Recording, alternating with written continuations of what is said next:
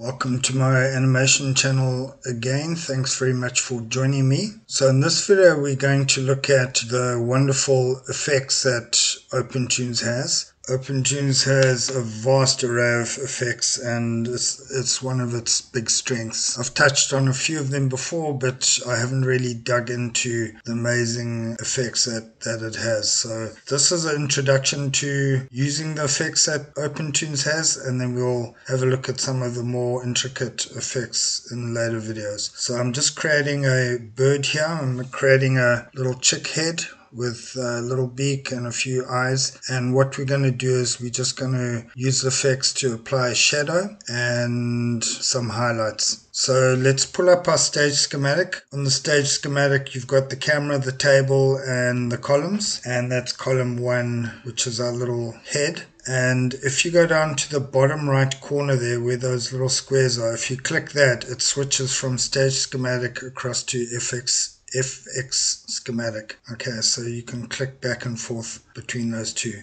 And in the FX schematic, it's slightly different. You've got the column or columns that feeds into the X sheet, which feeds into the output. So it's a slightly different setup from the stage schematic. So let's insert our first FX. Right click you can either insert a FX or you can add a FX. The difference is when you insert a FX, it comes between the column and the X sheet. And when you add it, it just applies it to that column. So let's just stick with the insert. I usually insert all my FXs. I don't know, do you say FX or do you say effects? Effects.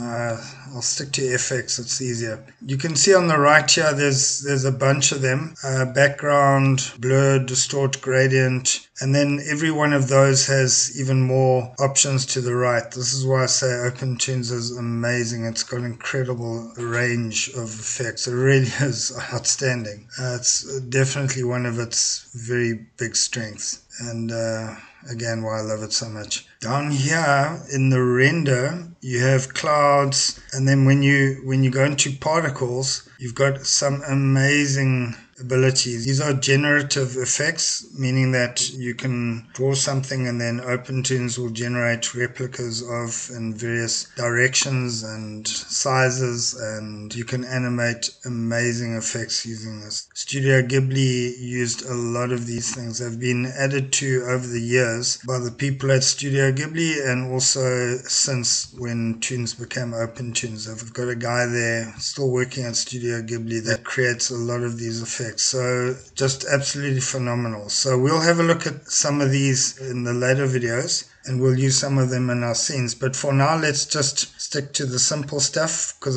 this is more intro to the effects.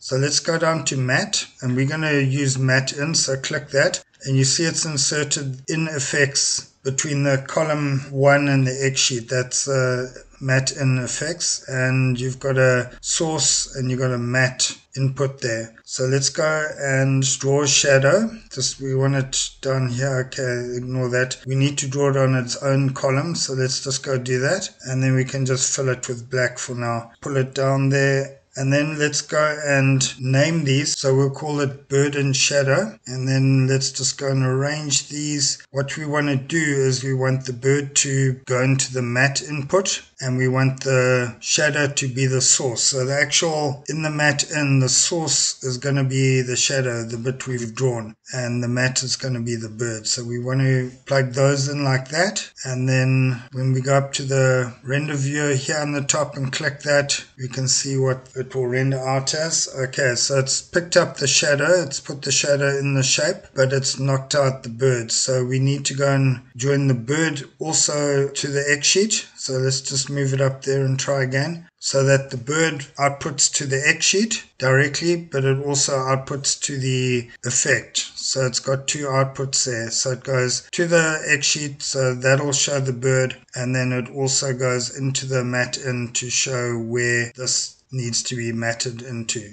So it's got two outputs there and it goes to different places. So you do that and then we can have another look and there it is. So it's picked it up. You see how it's just showing the shadow over where the bird is because the the bird is now the the mat, the source of the mat. So it's just going to show the bit inside the bird. Okay.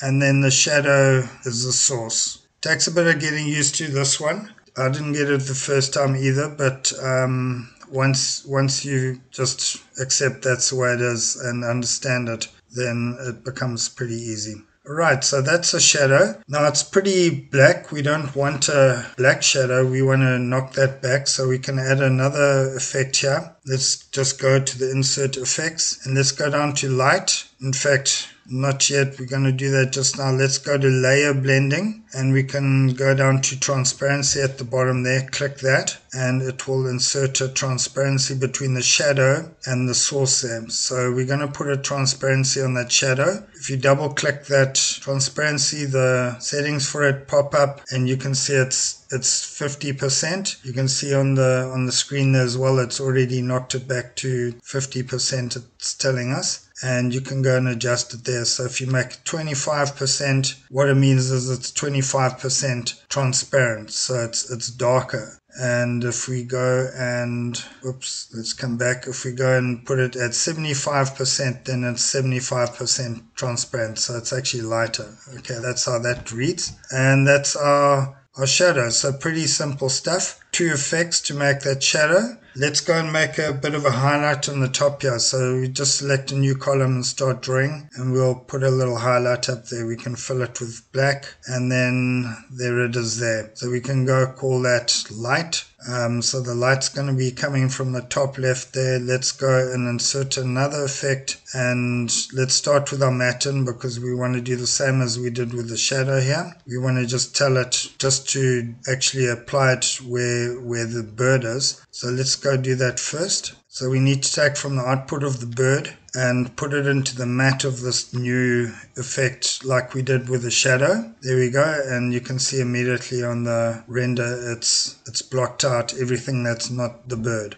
Okay, that's the very first thing we do. And then we we can give us a lighter color. Let's just go and do this on our palette. Um, we can make it a yellow like that and there's our light but that's not really looking good. So let's go give it a bit of glow. So we go down and we're going to add another effect. This will be a light effect. So go down to light and then scroll down to let's give it a glow. Click on that. You see how this time we added an effect? So it didn't put it in line. It didn't put it on the output of the light. It actually just added it to that light node there. So that's the difference between adding and inserting. So there's our glow effect. And what we need to do now is to go set that up as well. We need to make the glow effect, the output of that needs to come into the source of the matte in. And you can see immediately it's, it's changed on the render there. So now the light goes via the glow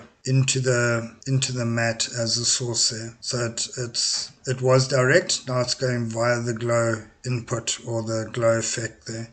Okay, and if you, again, if you double click on that, you got various options. Here you can give it a different color. Over here, you can actually animate all these inputs. These, these are the keys to animate them and here's the RGB here and A is for the alpha so you can put that at zero. Let's just put it back to 255 let's go give this a different color so click on it and bring up your level palette. We can make it a different color or you can use your sliders here to make it a, a different color. And also the other thing you can do is you can adjust the brightness here make it 50% or 75% etc etc so that's our that's our glow there. And that's basically the introduction to to effects. They do take a bit of getting to know but they are wonderful. And you can really set up some amazing amazing scenes with these. So worth getting to know worth using worth having a look at. And we're going to use these in our in our scenes going forward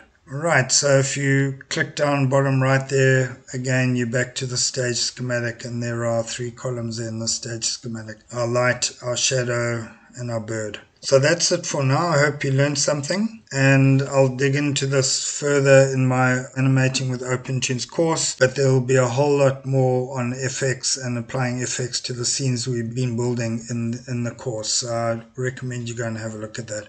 Thanks very much for tuning into my animation channel once again and happy animating out there. See you again. All the best. Bye.